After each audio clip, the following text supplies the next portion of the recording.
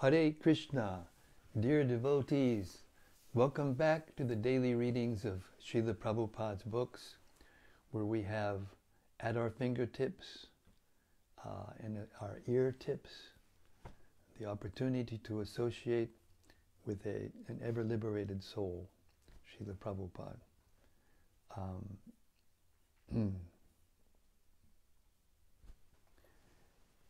Today will be the last uh, evening of reading the Shrimad Bhagavad Gita as it is, and tomorrow, or the next day, rather, uh, we're going to start and inaugurate the uh, daily readings again of the Shrimad Bhagavatam.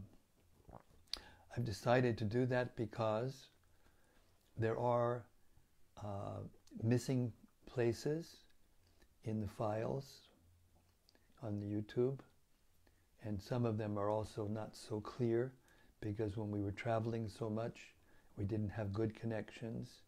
Uh, it was hard, etc., uh, etc. Et so I want to try to put together, you know, on the YouTube, you know, a full uh, reading of the Bhagavatam without any, anything missed.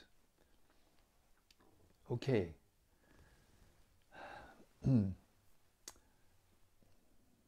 Srimad Bhagavata Mahima Stotram from Sri Krishna Lila Stava, text 412 through 416 by Srila Sanatana Goswami,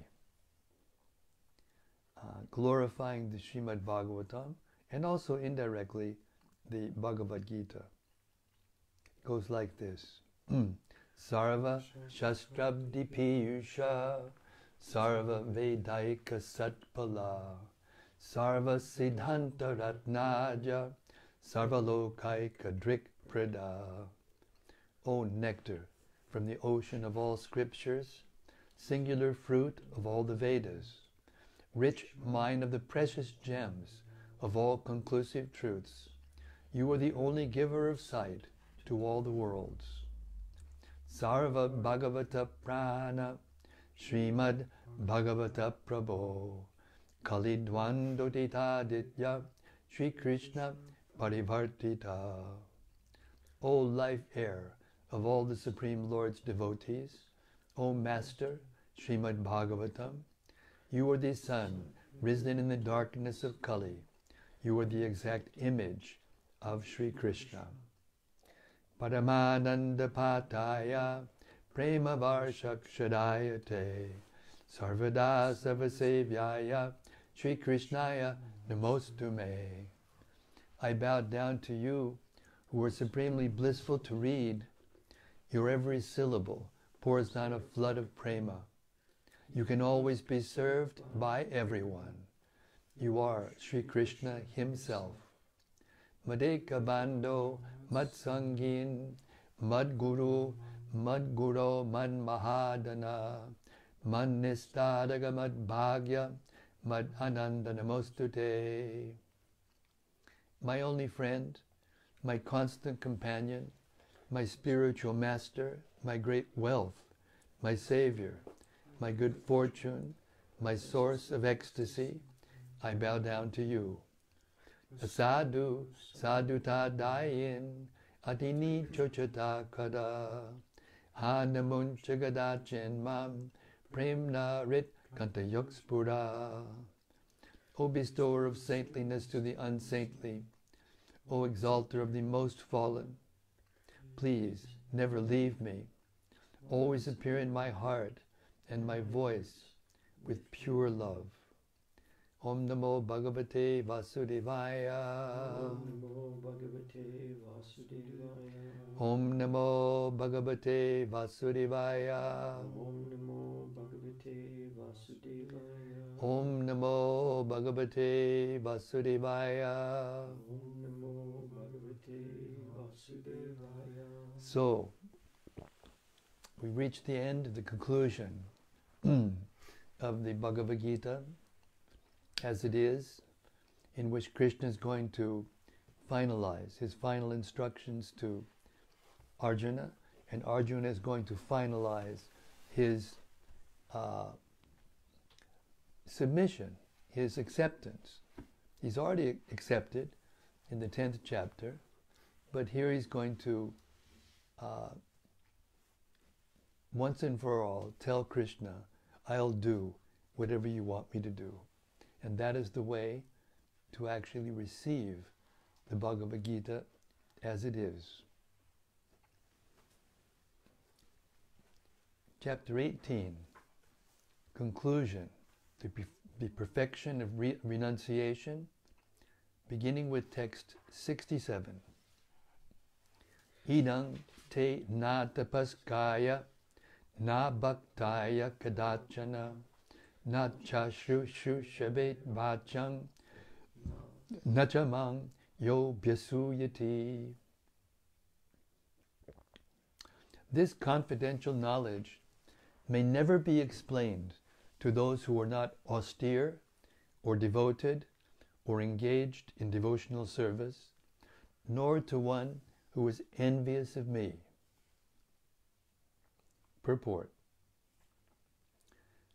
Persons who have not undergone the austerities of the religious process, who have never attempted devotional service in Krishna consciousness, who have not tended a pure devotee, and especially those who are conscious of Krishna only as a historical personality, or, or who are envious of the greatness of Krishna, should not be told this most confidential part of knowledge. It is, however, sometimes found that even demoniac persons who are envious of Krishna worshipping Krishna in a different way, take to, to the profession of explaining Bhagavad Gita in a different way to make business. But anyone who desires actually to understand Krishna must avoid such commentaries on Bhagavad Gita. Actually, the purpose of Bhagavad Gita is not understandable to those who are sensuous. Even if, even if one is not sensuous, but is strictly following the principles enjoined in the Vedic scripture, if he is not a devotee, he, he also cannot understand Krishna. And even when one poses himself as a devotee of Krishna, but is not engaged in Krishna conscious activities, he also cannot understand Krishna. There are many persons who envy Krishna because he has explained in Bhagavad Gita that he is the supreme and that nothing is above him or equal to him. There are many persons who are envious of Krishna. Such persons should not be told of Bhagavad Gita, for they cannot understand there is no possibility of faithless persons understanding Bhagavad Gita and Krishna. Without understanding Krishna from the authority of a pure devotee, one should not try to comment upon Bhagavad Gita. Text 68. Ya idang padamang guyang mad bhakti shabidasyati bhaktim mai param kritva mam evaishatya sangshayaha.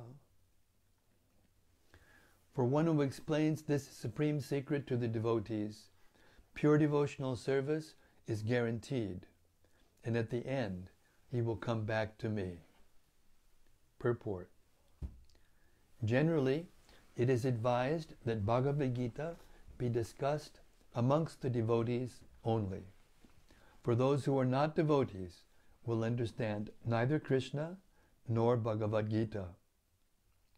Those who do not accept Krishna as he is and, Bhag- and Bhagavad Gita as it is should not try to explain Bhagavad Gita whimsically and become offenders. Bhagavad Gita should be explained to persons who are ready to accept Krishna as the Supreme Personality of Godhead. It is a subject matter for devotees only and not for philosophical speculators. Anyone, however, who tries sincerely to present Bhagavad Gita as it is will advance in devotional activities and reach the pure devotional state of life. As a result of such pure devotion, he is sure to go back home, back to Godhead. Text 69. Nachatasman manusheshu kaschin me priyakritamaha babita nachame tasmad anyak priyataro bhuvi. There is no servant in this world more dear to me than he, nor will, it, will there ever, ever be one more dear. I'll read that again. There is no servant in this world more dear to me than he, nor will there ever be one more dear. Text 70. Adeshyate Adeshyate chaya imang dharmyang sangvadamabhyayoho syam iti me matihi. And I declare that he who studies this sacred conversation of ours worships me by his intelligence. Text 71. Shadhavan anasuyascha shinuyad apiyo naraha sopimuktak subalokan prapnuyat punya karmanam. And the one who listens with faith and without envy becomes free from sinful reactions and attains to the auspicious planets where the pious dwell. Purport.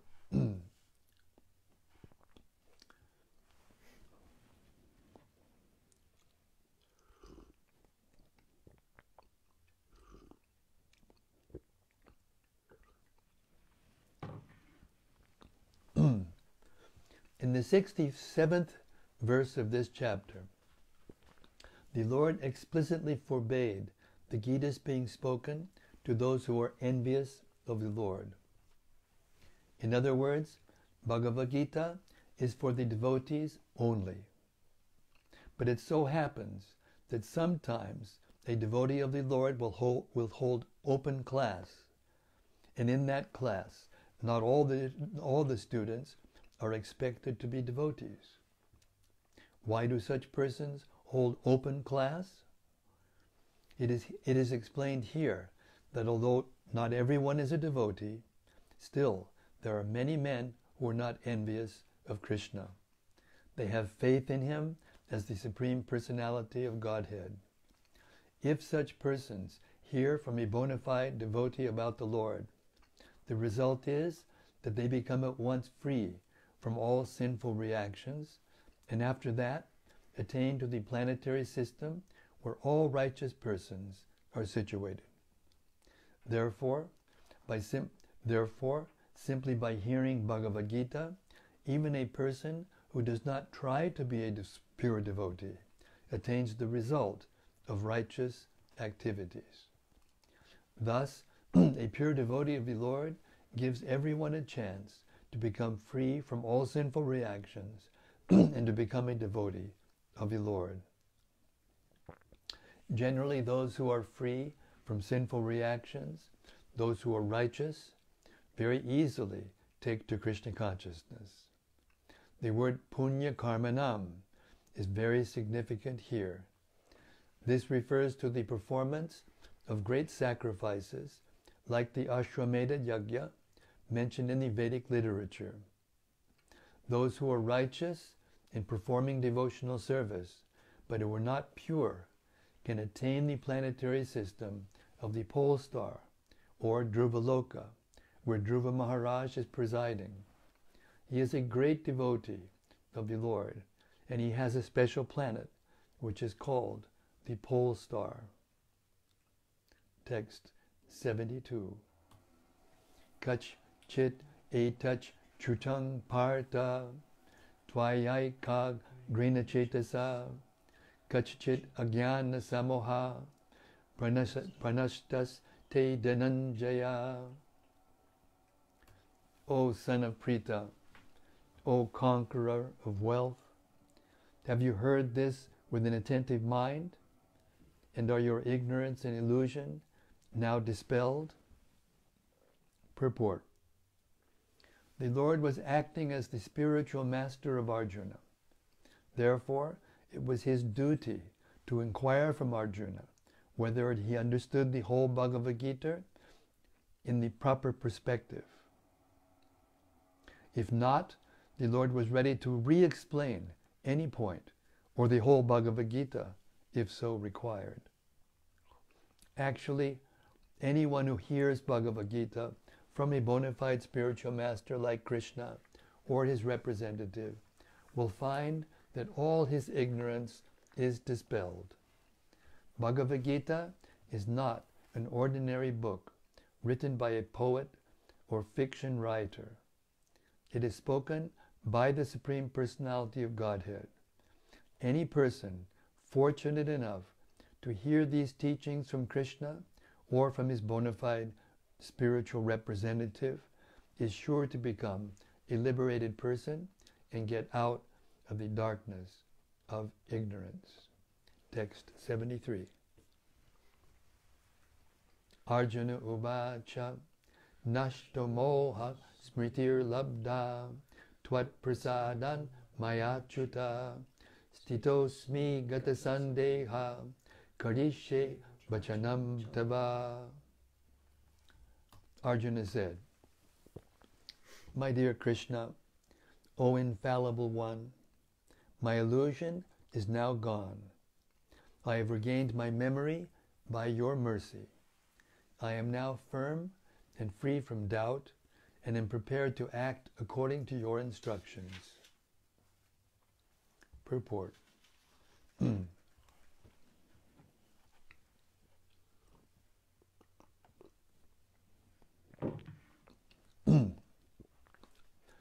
the constitutional position of a living entity represented by Arjuna is that he has to act according to the order of the Supreme Lord.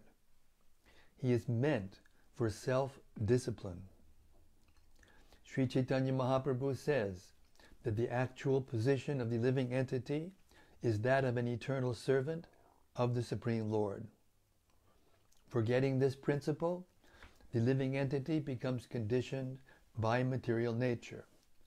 But in serving the Supreme Lord, he becomes the liberated servant of God. The living entity's constitutional position is to be a servitor. He has to serve either the illusory Maya or the Supreme Lord. If he serves the Supreme Lord, he is in his normal condition. But if he prefers to serve the illusory external energy, then certainly he will be in bondage. In illusion, the living entity is serving in this material world. He is bound by his lust and desires, yet he thinks of himself as the master of the world. This is called illusion. When a person is liberated, his illusion is over, and he voluntarily surrenders unto the Supreme to act according to his desires. The last illusion, the last snare of Maya, is to, to trap the living entity, is the proposition that he is God. The living entity thinks that he is no longer a conditioned soul, but God. He is so unintelligent that he does not think that if he were God, then how could he be in doubt? That he does not consider. So that is the last snare of illusion. Actually, to become free from the illusory energy is to understand Krishna, the Supreme Personality of Godhead, and agree to act according to His order. The word moha is very important in this verse. Moha refers to that which is opposed to knowledge. Actually, real knowledge is the understanding that every living being is eternally a servitor of the Lord. But instead of thinking oneself in that position, the living entity thinks that he is not a servant, that he is the master of this material world, for he wants to lord it over the material energy, the material nature. That is his illusion. This illusion can be overcome by the mercy of the Lord or by the mercy of a pure devotee. When that illusion is over, one agrees to act in Krishna consciousness. Krishna consciousness is acting according to Krishna's order. A conditioned soul, illusioned by the external energy of matter, does not know that the Supreme Lord is the Master who was full of knowledge and who was the proprietor of everything. Whatever he desires, he can bestow upon his devotees. He is the friend of everyone, and he is especially inclined to his devotee. He is the controller of this material nature and of all living entities. He is also the controller of inexhaustible time, and he is full of all opulences and all potencies. The Supreme Personality of Godhead can even give himself to the devotee. One who does not know him is under the spell of illusion. He does not become a devotee, but a servitor of Maya. Arjuna, however, after hearing Bhagavad Gita from the Supreme Personality of Godhead, becomes free from all illusion. He could understand that Krishna was not only his friend, but the Supreme Personality of Godhead.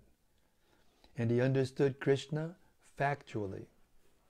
So to study Bhagavad Gita is to understand Krishna factually.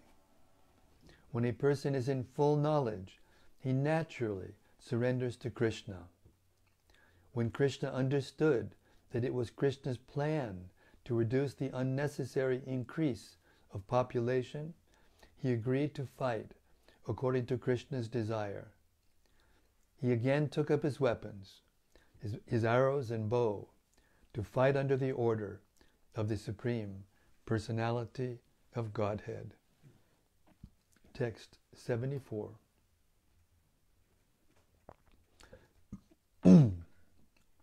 Sanjaya Uvacha Ityaham Vasudevasya Partasya Chamahatmanaha Sangvadam Imam Ashrausham Adbhutam Ramaharshanam Sanjaya said, Thus I have heard the conversation of two great souls, Krishna and Arjuna. And so wonderful is that message that my hair is standing on end. Purport In the beginning of Bhagavad Gita, Dhritarashtra inquired from his secretary, Sanjaya, what happened on the battlefield of Kurukshetra. The entire study was related to the heart. The entire study was related to the heart of Sanjaya by the grace of his spiritual master, Vyas. He thus explained the theme of the battlefield. The conversation was wonderful because such an important conversation between two great souls had never taken place before and would not take place again. It was wonderful because the Supreme Personality of Godhead was speaking about himself and his energies to the living entity, Arjuna, a great devotee of the Lord. If we follow in the footsteps of Arjuna to understand Krishna, then our life will be happy and successful. Sanjaya realized this, and, and, he, and, and as he began to understand it, he related the conversation to Dhritarashtra. Now it is concluded that wherever there is Krishna and Arjuna, there is victory. Text 75. Vyasa prasadach trutavyan etad guya mahang padam yogam yogeshwarat krishnat sakshat katayatak swayam by the mercy of Vyas, I have heard these most wonderful talks directly from the master of all mysticism, Krishna, who was speaking personally to Arjuna.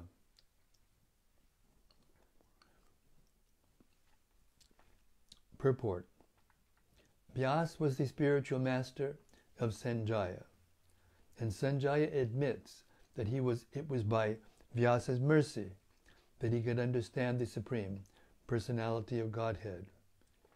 This means that one has to understand Krishna not directly, but through the medium of the spiritual master. The spiritual master is the transparent medium, although it is true that the experience is still direct. This is the mystery of the disciplic succession. When the spiritual master is bona fide, then one can hear Bhagavad Gita directly, as Arjuna heard it. There are many mystics and yogis all over the world, but Krishna is the master of all yoga systems. Krishna's instruction is explicitly stated in Bhagavad Gita surrender unto Krishna. One who does so is the topmost yogi. This is confirmed in the last verse of the sixth chapter, Yoginam Apisarvesham. Narada is the direct disciple of Krishna and the spiritual master of Vyas. Therefore, Vyas is as bona fide as Arjuna, because he comes in the disciplic succession, and Sanjaya is the direct disciple of Vyas. Therefore, by the grace of Vyas, Sanjaya's senses were purified and he could see and hear Krishna directly. One who directly hears Krishna can understand this confidential knowledge. If one does not come to the disciplic succession, he cannot hear Krishna. Therefore, his knowledge is always imperfect, at least as far as understanding Bhagavad Gita is concerned. In, in, the, in Bhagavad Gita, all the yoga systems, karma, karma yoga, jnana yoga, and bhakti yoga, are explained. Krishna is the master of all such mysticism.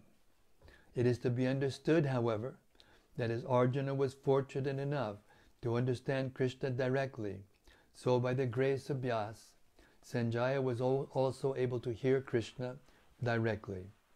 Actually, there is no difference between hearing directly from Krishna and hearing directly from Krishna via a bona fide spiritual master like Vyas. The spiritual master is the representative of Vyasadeva also. Therefore, according to the Vedic system, on the birthday of the spiritual master, the disciples conduct the ceremony called Vyasa Puja. Text 76. Rajan samsmritya samsmritya samvadam imamadbhutam keshavajar keshavar janunak keshavar janunok punyam rishyami chamahur muhu O King, as I repeatedly recall this wondrous and holy dialogue between Krishna and Arjuna, I take pleasure being thrilled at every moment. Purport The understanding of Bhagavad Gita is so transcendental that anyone who becomes conversant with the topics of Arjuna and Krishna becomes righteous and he cannot forget such talks. This is the transcendental position of spiritual life.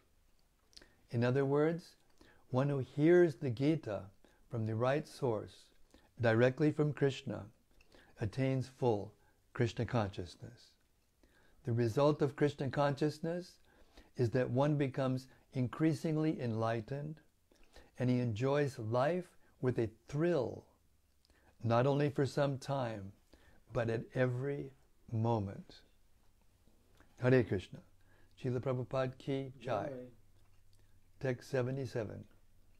Touch chasang sritya sritya rupam atyadbhutam harehe vismayo me mahan rajan rishami Chapuna Punaha. O King, as I remember the wonderful form of Lord Krishna, I am struck with wonder more and more, and I rejoice again and again.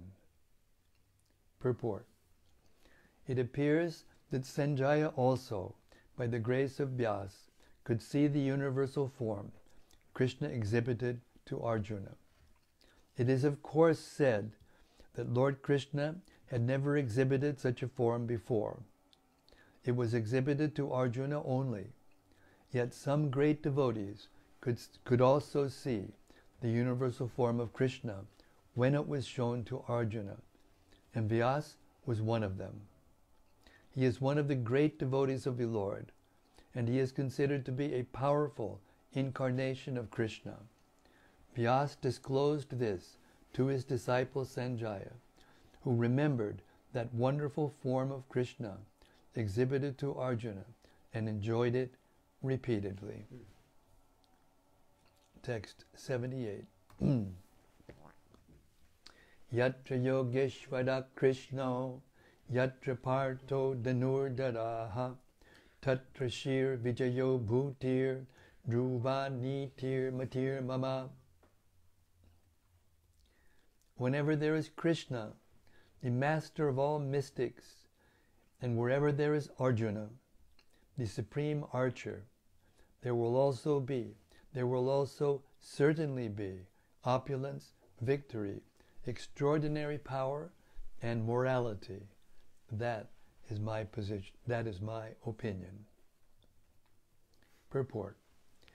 The Bhagavad Gita began with an inquiry of Dhritarashtra's. He was hopeful of the victory of his sons, assisted by great warriors like Bhishma, Drona, and Karna. He was hopeful that the, that the victory would be on his side. But after describing the scene on the battlefield, Sanjaya told the king, You are thinking of victory, but my opinion is that where Krishna and Arjuna are present, there will be all good fortune. He directly confirmed that Dhritarashtra could not expect victory for his side. Victory was certain for the side of Ar- Arjuna because Krishna was there. Krishna's acceptance of the post of charioteer for Arjuna was an exhibition of another opulence. Krishna is full of opulences, and renunciation is one of them. There are many instances of such renunciation, for Krishna is also the master of renunciation. The fight was actually between Duryodhana and Yudhishthir. Arjuna was fighting on behalf of his elder brother, Yudhishthir. Because Krishna and Arjuna were on the side of Yudhishthir, Yudhishthir's victory was certain. The battle was to, to decide who would rule the world, and Sanjaya predicted that the power would be transferred to Yudhishthir. It is also predicted here that Yudhishthir, after gaining victory in this battle, would flourish more and more, because not only was he righteous and pious, but he was also a strict moralist. He never spoke a lie during his life. There are many less intelligent persons who take Bhagavad Gita to be a discussion of topics between two friends on a battlefield.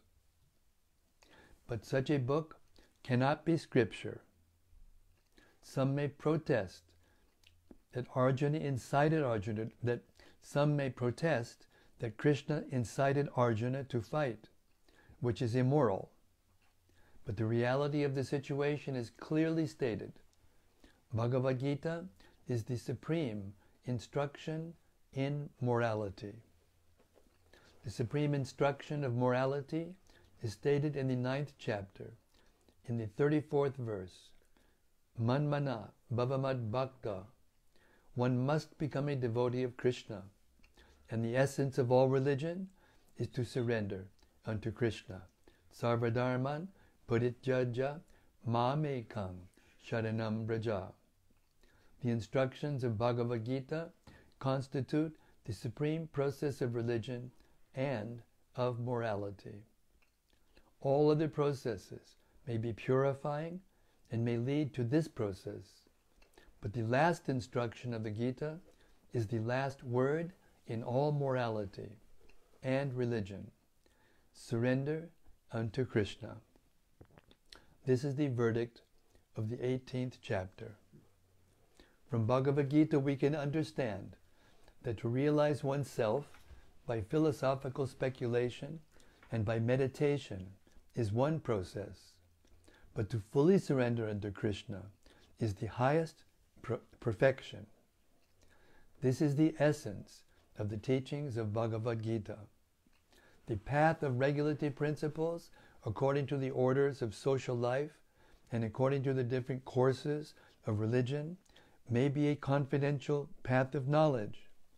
But although the rituals of religion are confidential, meditation and cultivation of knowledge are still more confidential. And surrender unto Krishna in devotional service is in full Krishna consciousness is the most confidential instruction. That is the essence of the 18th chapter. Another feature of Bhagavad Gita is that the actual truth is the Supreme Personality of God. Another feature of Bhagavad Gita is that the actual truth is the Supreme Personality of Godhead, Krishna. The Absolute Truth is realized in three features impersonal Brahman, localized Paramatma, and ultimately the Supreme Personality of Godhead, Krishna. Perfect knowledge of the Absolute Truth means perfect knowledge of Krishna. If one understands Krishna, then all the departments of knowledge are part and parcel. if one understands Krishna, then all the departments of knowledge are part and parcel of that understanding. Krishna is transcendental, for he is always situated in his eternal, eternal, internal potency. The living entities are manifested. the living entities are manifested of his, inter- of his energy and are divided into two classes eternally conditioned and eternally liberated. Such living entities are innumerable and they are considered fundamental parts of Krishna. Material energy is manifested into 24 divisions the creation is effected by eternal time, and it is created and dissolved by external energy. This manifestation of the cosmic world repeatedly becomes visible and invisible. In Bhagavad Gita, five principal subject matters have been discussed the Supreme Personality of Godhead, material nature, the living entities, eternal time, and all kinds of activities. All is dependent on the Supreme Personality of Godhead, Krishna. All conceptions of the Absolute Truth, impersonal Brahman, localized Paramatma, and any other transcendental conception exist within the category of understanding the Supreme Personality of Godhead. Although superficially the Supreme Personality of Godhead, the living entity, material nature, and time appear to be different. Nothing is different from the Supreme. But the Supreme is always different from everything. Lord Chaitanya's philosophy is that of inconceivable oneness and difference.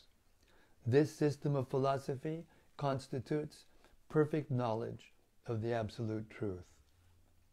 The living entity in his original position is pure spirit. He is just like an atomic particle of the Supreme Spirit. Thus, Lord Krishna may be compared to the sun and the living entities to sunshine. Because the living entities are the marginal energy of Krishna, they have a tendency to be in contact either with the material energy or with the spiritual energy. In other words, the living entity is situated between the two energies of the Lord. And because he belongs, in other words, this is such an important point. Excuse me, I'll read it again. In other words, the living entity is situated between the two energies of the Lord, and because he belongs to the superior energy of the Lord, he has a particle of independence. By proper, by proper use of that independence, he, he comes under the direct order of Krishna. Thus, he attains his normal condition in the pleasure giving potency. What a purport. Explains the whole philosophy, top to bottom, inside and out. Thus end the Bhaktivedanta purports of the 18th chapter of the Srimad Bhagavad Gita in the matter of its conclusion, the perfection, the perfection of renunciation. All glories to the Supreme Personality of Godhead, the speaker of Bhagavad Gita as it is, the Supreme Absolute Truth of knowledge, and Arjuna, the perfect disciple. Hare Krishna. It's interesting to note that the, during the whole conversation, Arjuna surrendered from the very beginning to Krishna as his spiritual master. But then he still had questions and even doubts, and he continued to present them before Krishna and have them clarified and removed. It's interesting.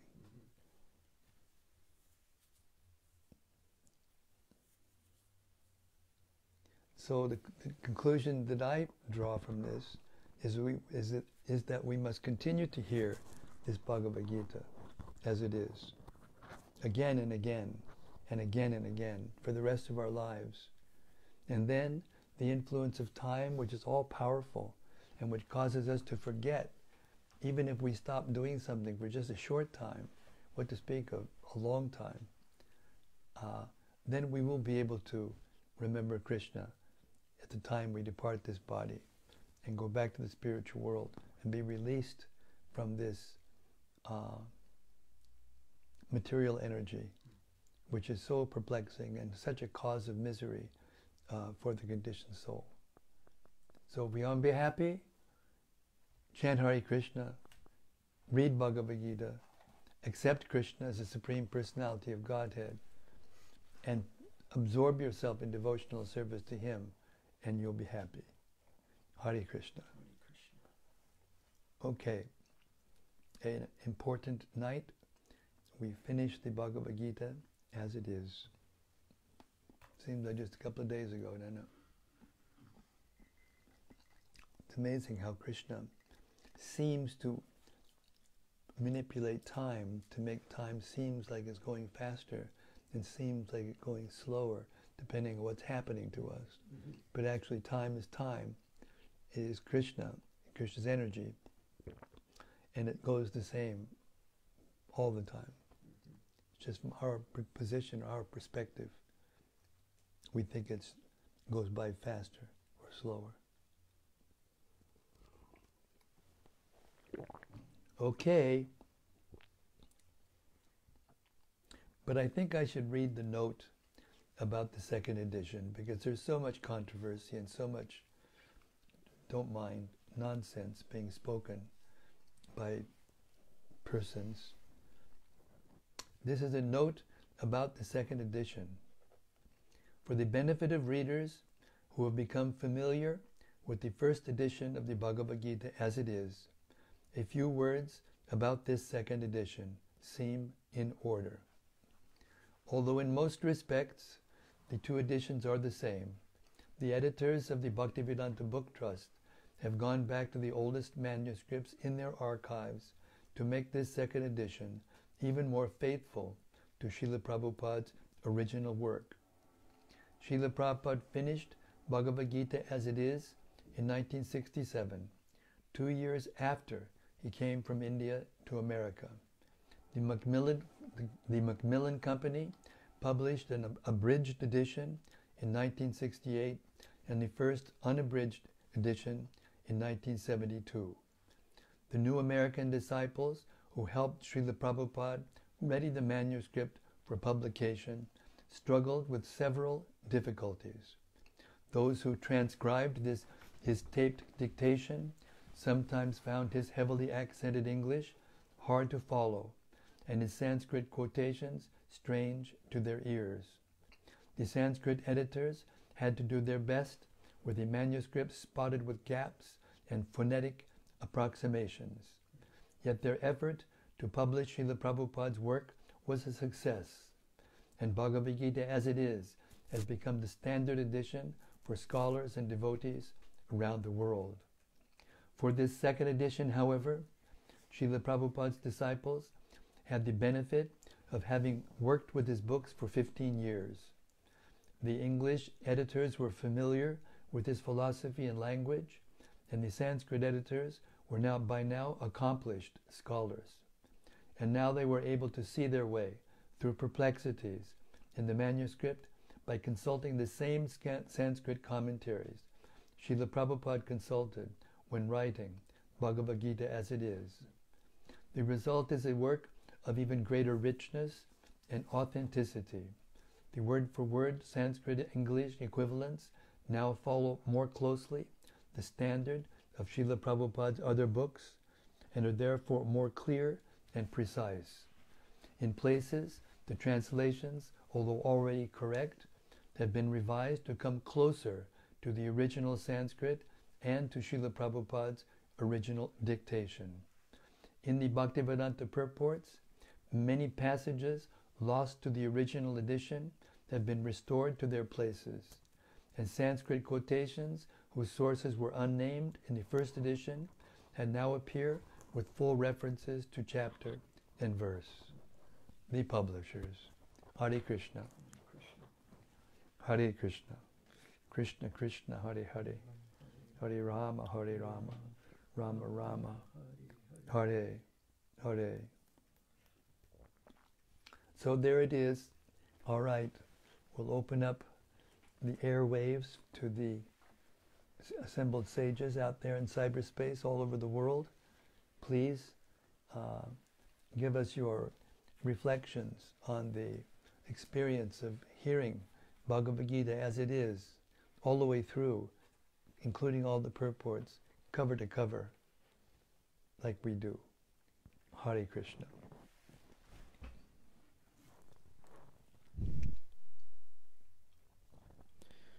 First is from Gopakanya Devi Dasi. Gopakanya Devi Dasi. Hare Krishna. Jai Maharaj, Hare Krishna, all glories to Srila Prabhupada. Jai all glories to His divine grace. Hare Bo. From Rati Manjari, Hare Krishna Rati. she says, Jai Guru Maharaj, take us to the transcendental finale. Hare Krishna.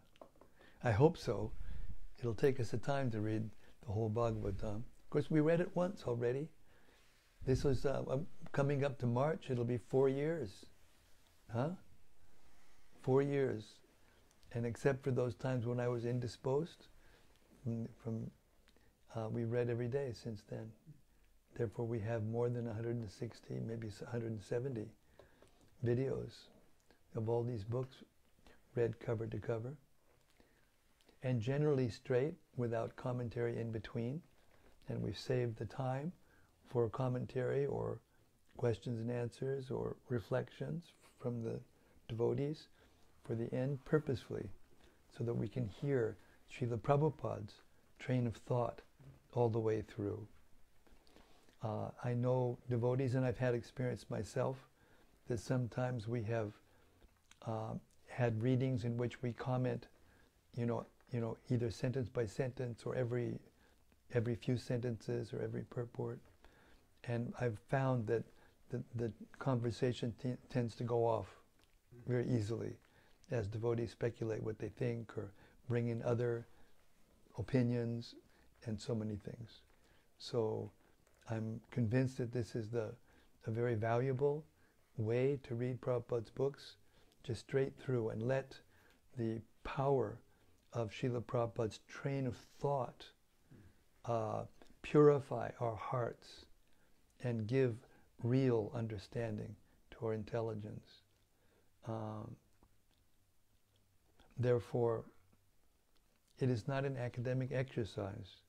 It is not that you can learn it by, by becoming very learned or by becoming a scholar or memorizing large parts of it. You may do that, as we heard in this last section that we just read. We may do that, but if we're not a devotee of Krishna, then we can't understand and we can't comment. And even if we are a devotee of Krishna, at, at, at the end, until we fully surrender to Krishna, then we cannot fully understand.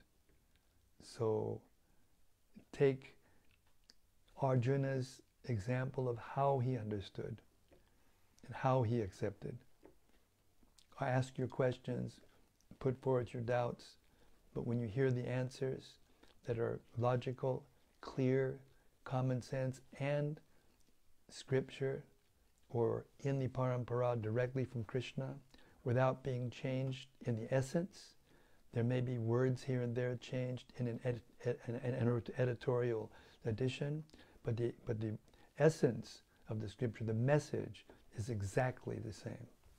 That is my personal experience of working with our uh, colleagues, the ed- editorial review board, which is going through and making a final uh, suggestions that will then be finally approved by the editorial board on the BBT and, and the BBT.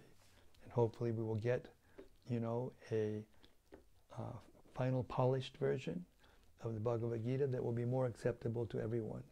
And those who cannot see that or accept that Srila Prabhupada's instruction, uh, one of his last instructions actually, that all of his books be gone through and corrections made uh, to make it as perfect as possible. And we have the letters of his words in writing that is exactly what he wanted, to make it as perfect as possible. He admitted that when he came to the West, uh, it was not possible for him to write with the uh, English completely correct, uh, even though he was a great poet and a great writer. Uh, still, the second language is not easy to grasp and to, uh, not to grasp, but to put it into a, a polished, per- perfectly polished state. And he wanted that. He didn't expect it to, to stay the same. About the sources of, of this version, uh, the first six chapters of the Gita, of the, of the uh, manuscript, was actually typed by Srila Prabhupada's hand. So for the six, first six chapters, we actually have Prabhupada's thoughts exactly. And in the next six, uh, rest of the book, most of it was done by transcription of voice through a dictaphone. And because Srila Prabhupada was so frugal, I mean, we can't imagine what frugality is. He would use the same tape again and again. So the, original dictation was, in most cases, lost. But we do have the transcription of the devotees from Srila Prabhupada's voice, and that's where mostly uh, the problems came in. But even even from the beginning, for instance, the uh, first edition of the unabridged Collier Macmillan edition had Blessed Lord said in, in the verses instead of the Supreme Personality of Godhead.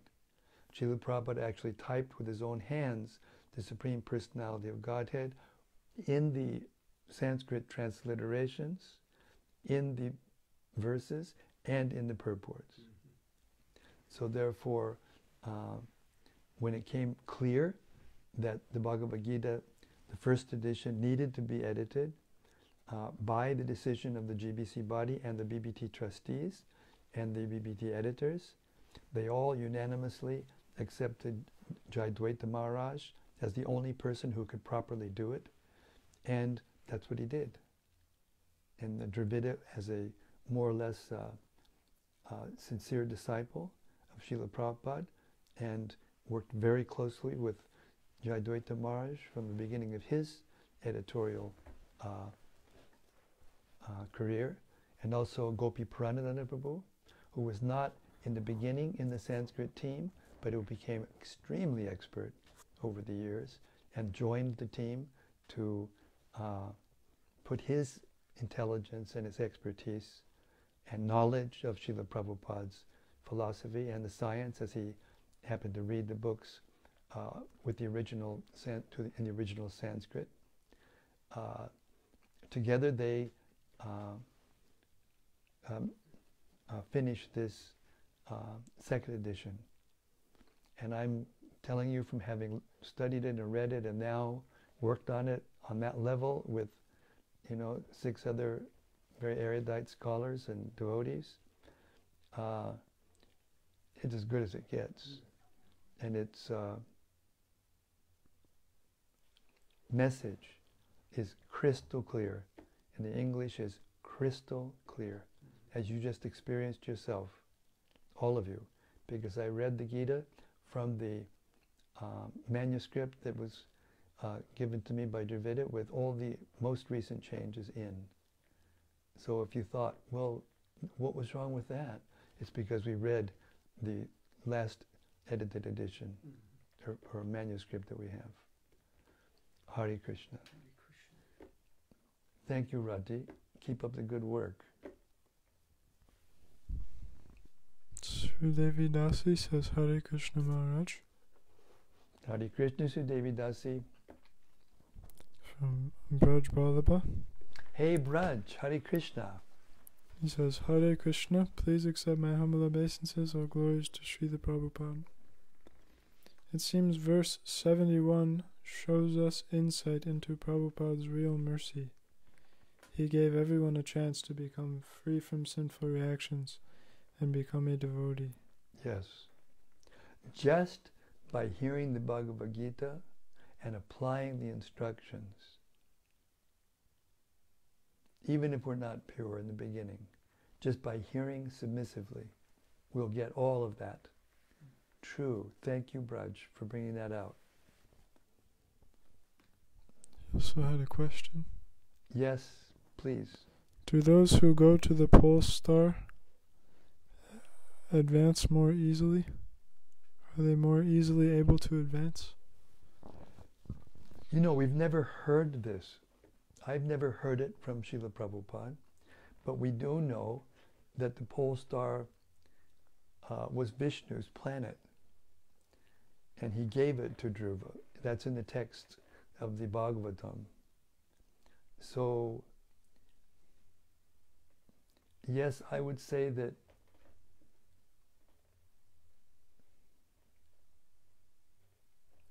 Pole star is a spiritual planet in the material world. So the answer would be yes. They do advance easier, or they relish more, or whatever you want to call it. I'm sure that's different in every individual case, as is most things are. So we can't make a rule out of it. It wouldn't be right to make a rule out of anything in spontaneous, pure, loving, devotional service to the Lord, actually.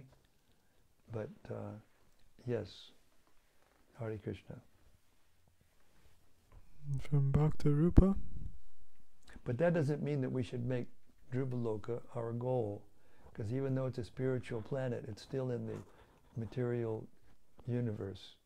So therefore, we should still make it our goal to go back to Goloka Vrindavan. Hare Krishna.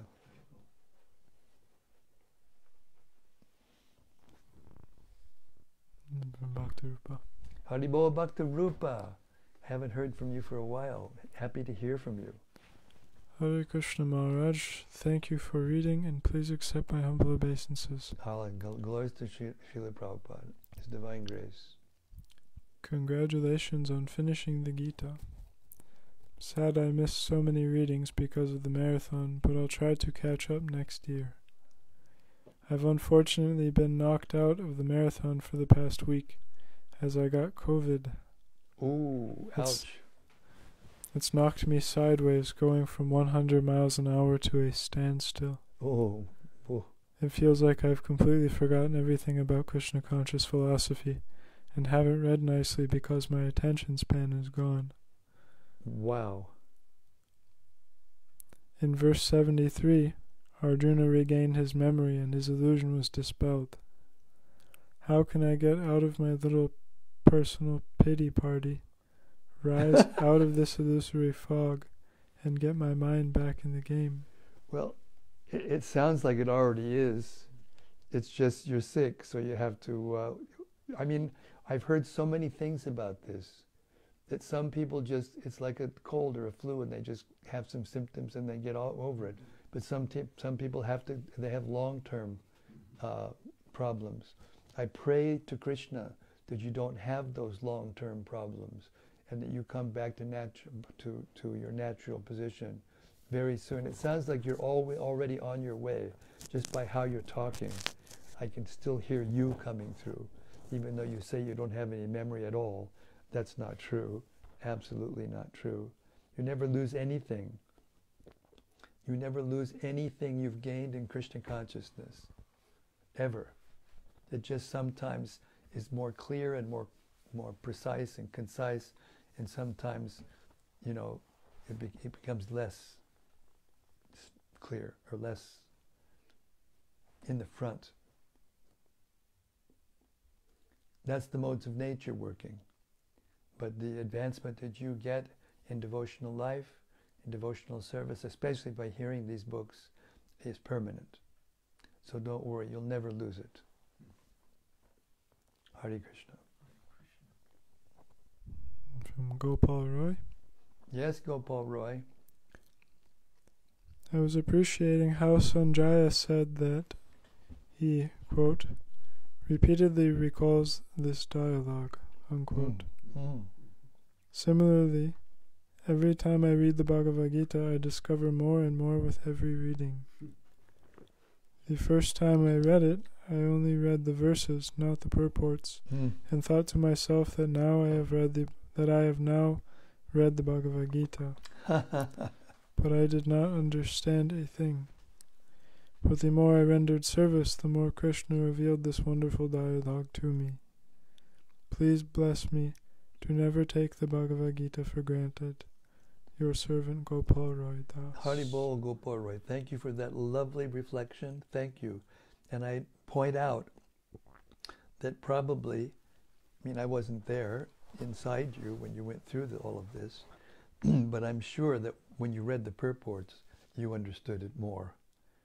And as you read the purports more and more, that's why Srila Prabhupada told Hayagriva, when Hayagriva started to pester him about the, the verse, verses, Srila Prabhupada told him the, the purports are more important than the verses. I don't want to spend as much time on the verses as the purports. So he gave him permission to use Bhagavad Gita's translations of other persons who were not, who were good translations, not Mayavad translations. And whether he understood it not completely or not, that's that I don't know. But uh, he he did use uh, Radhakrishnan's uh, translations of some of the verses of the Gitas to change certain things, including the Blessed Lord instead of the Supreme Personality of Godhead, which was uh, cleared up and uh, and edited by Jayadvaita Maharaj and Dravida. So, um, yeah, the purports are the most important thing because they give us the clear understanding of what the verses are saying. Hare Krishna.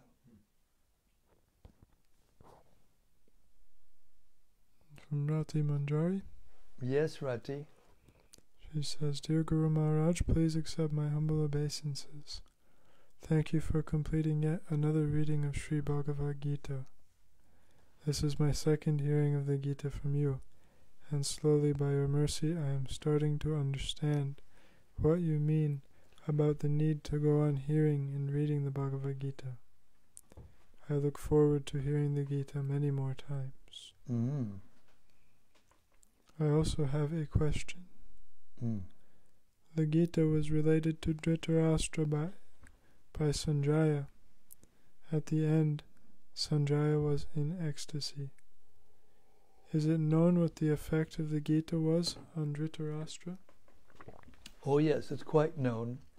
it was revealed by Vidura in the Srimad Bhagavatam when he came back after having been insulted by Duryodhana. He left the palace and went on pilgrimage, and he met Uddhava during that time, and then finally met Maitreya, and by Uddhava's uh, encouragement and advice, he he heard the uh, Bhagavad Gita from Maitreya, who, by the way, was present when Krishna gave Uddhava his last instructions before Uddhava went north to Badrikashram, and that's when he met uh, Vidura. So when Vidura went back then to the uh, palace and met Dhritarashtra, this was after the Battle of Kurukshetra now. So when he just gave him the sauce mm-hmm. big time, meaning that Dhritarashtra didn't get very much. Even though he was right there, even though he saw Krishna, just like Daksha. Daksha was a mind-born son of Brahma, very elevated person, but he was meant to be a Prajapati, to, to increase the population through sex, and also in opulence and uh, performance of huge sacrifices, Vedic sacrifices. So, because his mind was so much absorbed in those uh, that approach, even when Krishna came before him, when Vishnu came before him, he didn't know what to say. Mm. He had made a huge offense to uh, Lord Shiva, which means he cannot have understood anything of the Gita if you make Lord an offense against Lord Shiva. that speaks for itself. So, yes, unfortunate for Dhritarashtra at the moment, he didn't understand. He was too attached to his sons and too attached to winning. Therefore, it says, Krishna says, just after he gave the final instruction, he said, uh, Whoever uh, studies this conversation uh, worships me by his intelligence. And it should not be spoken to someone who is envious or who, is not, who have not tended a pure devotee. So the answer was he didn't get very much, if anything. And then he lived in the house of Yudhishthir, you know, even after all his fam- all his sons were killed and yet he lived in the house of, of Yudhishthira and, and, and was, was taken care of by Yudhishthira, who was then the king, and it was shameless. So therefore Vidura told him, you know, you're just like a kept dog. Get out of here immediately. And he finally did. He heard from, this, from the devotee of Krishna, Vidura, even though Vidura was his brother, wait,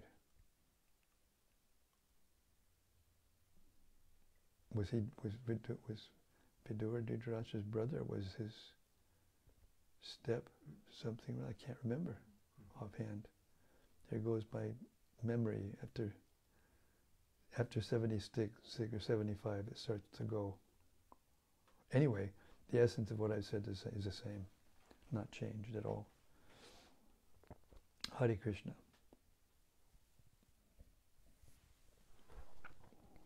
Um, Dayal Nitai. Jai Dayal Nitai. Haribo. He says, All glories to Sri Sri Guru and Gauranga. Thank you, Sri the Guru Maharaj, for this amazing and very helpful reading of the entire Bhagavad Gita as it is. Thank you, your servant Dayal Nitai Das. Hari Krishna Dayal Nitai, thank you very much for your encouragement. I keep thinking that my voice, I, every once in a while, not all the time, but I sometimes spot check how I'm sounding, and I think that my reading has a lot to be desired, and I hope to improve as we go along. And it's also different, as somebody pointed out to me the other day, that when we do the audiobooks, we have the benefit of being able to go back over things and re-record things to make it just right. And when you're in a phone, uh, a booth, recording booth, you hear your voice very clearly, and everything comes out more clear and more uh, in that sense. So you don't get the same uh, effect of the spontaneous nature of a reading with other personalities in, involved, but still, I want to make the readings as good as the recordings. Hari Krishna. I will try my best. Hari Bol. From Anandamurti Devi Dasi. Jai Anandamurti Hari Bol. Dear Guru Maharaj and all devotees, please accept my humble obeisances. All glories to Srila Prabhupada. Thank you so much for reading Srimad Bhagavad Gita, which is most confidential knowledge for the devotees. I thought this knowledge is to read every day and distribute. Yesterday I have distributed three Bhagavad Gita and three Prabhupada Lilamrita during lunch break. During lunch break. Good. Those were all students and they were very happy to receive this knowledge. Very good. I thank you for giving me this opportunity to serve Srimad Bhagavad Gita through serving you. Dear Gurudev, because you become pleased, I execute this service to distribute, so that you are my life. Thank you so much for reading. Thank you very much, uh, Anandamurti. That was very deep, very touching, very moving, and uh, yeah, you purchased me with that. Hare Krishna.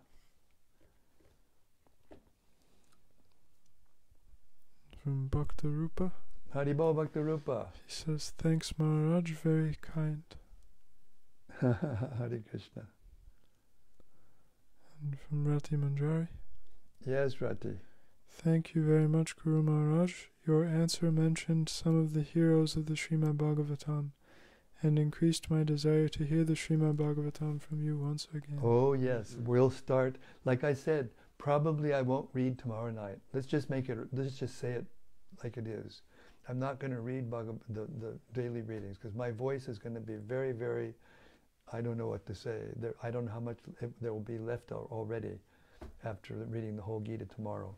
It'll probably take eight hours. So thank you very much for that encouragement.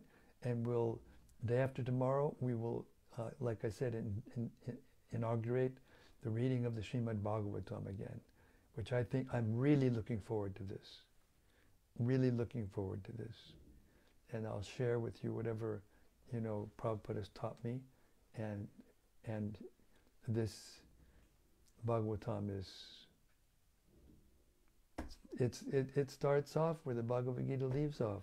It's natural. It's a natural progression. Whenever, whenever Srila Prabhupada was talking about how important it is to read all of his books, he would always mention Bhagavad Gita, Srimad Bhagavatam, and Chaitanya Charitamrita. He wouldn't so much mention the others, although they're also important. Nectar Devotion, Teachings of Lord Chaitanya, Krishna book, and all his small books also. They're all important but they're all based on these books. All other corollary scriptures, even the Rasa Shastras of the Goswamis, they're all based on these books. Undergraduate, graduate, postgraduate. Bhagavad Gita, Srimad Bhagavatam, Chaitanya Charitamrita. Practically the only books on my shelf now. Things have been narrowed down. So thank you very much. Hare Krishna. And from Bhakta Sebastian. Yes, Bhakta Sebastian. Hari Bo. Hare Krishna Guru Maharaj, please accept my humble obeisances. All glories to Srila Prabhupada. Thank you so much. I am so grateful This reading is my life. Please allow me to serve you more and more. Your servant, Bhakta Sebastian. Thank you, Bhakti Sebastian, and I'm very much looking forward to that. Hare Krishna. Thank you. Rati Manjari says, And how nice it is that we finish the Bhagavad Gita right before Gita Jayanti tomorrow. Isn't it? Isn't it? And then we'll start the Bhagavatam the day after Gita Jayanti. I mean, how is that not an arrangement by Krishna? It must be an arrangement by Krishna. So here we are, and safe and sound in the safe haven, and we pray that more and more devotees will tune in over time. I think they will, but uh, this has left something. Even when I go, which I will eventually, everyone does. So when, but but why will have left? You know, on the YouTube. I don't know if Facebook will be there around. I'm pretty sure YouTube will stay longer. And I'm still thinking about going over to the YouTube for the, you know, exchange, the, the live exchange. It's better video and uh, safer, I think. But anyway, we have to get a thousand. We have now 700 and over 750, and we need to get to a thousand. So please make a little uh, campaign, all your friends and devotees that you know, and try to get them to uh, subscribe to the daily readings of Srila Prabhupada's books YouTube channel. When we get to a thousand, then I'll very seriously consider changing it over to the YouTube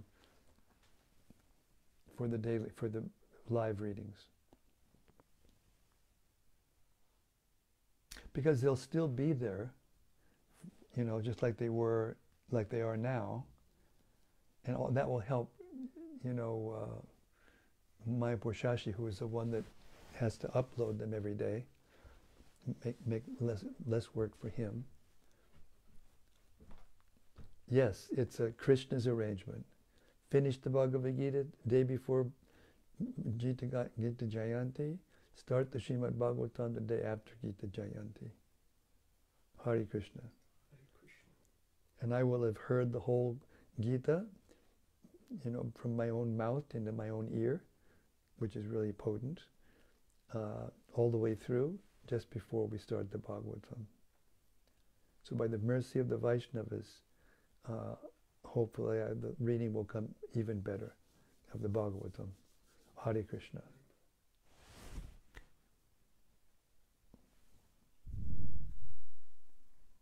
From Yadutama. Haribo, Haribo Yadutama. He says, Dear Gurudev, please accept my humble obeisances and all glories to Prabhupada. I feel so lucky to have Krishna's, Arjuna's, and Srila Prabhupada's association by your mercy. All I can say is that as I grow, I have more and more of a desire to become pure by following these instructions, so that I can assist you in fulfilling Srila Prabhupada's mission. Thank you. Hari Krishna Yadutama, thank you very much for your uh, loving service. Hari Krishna. Uh, another comment from Rati Manjari? Yes, Rati. Actually, it is your fresh enthusiasm about Srila Prabhupada's books which is impressive and able to attract my, my dusty mind to come closer to Krishna. Very good. That's now recorded. so I won't let you get away. And from Bhakta Jason. Yes, Bhakta Jason. Hare Krishna, please accept my humble obeisances. All glories to Srila Prabhupada. Thank you very much for sometimes repeating the teachings of the Bhagavad Gita during the questions and answers. It helps me to hear it again and again so I don't forget. Specifically, how we won't ever lose what progress we have already gained. It's really inspiring.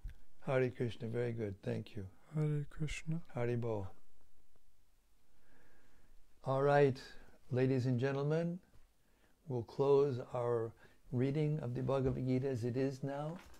And uh, day after tomorrow, we'll t- take it up again the reading of the Srimad Bhagavatam, cover to cover. And that's quite an endeavor. So if you read 41 pages a day, uh, you will read the Bhagavatam in one year. So I anticipate that this is going to take more than a year. And let us see. I don't remember how long we were reading when we first started, because I was reading the Bhagavatam when we first started. Seems like we're reading a little less reading, and the to- total is a bit, a little bit less. But this has facilitated also the, the uploading to the YouTube and so many other things. So I'll probably keep it pretty much the same, maybe a little bit uh, longer. Let's see how it unfolds. Shrimad Bhagavad Gita as it is, Ki Jai. Samaveta Bhakta Vrinda Ki Jai. Samaveta Bhakta Vrinda Ki Jai. Gaur Premanandi Hari Hari Bo. Thank you very much for being there and for being who you are and for your attachment to Srila Prabhupada's, for hearing Srila Prabhupada's books. And we'll see you day after tomorrow, same time, same place, same topic. The glories of the Supreme Personality of Godhead taken to another level. Mm-hmm. Hare Krishna. See you then.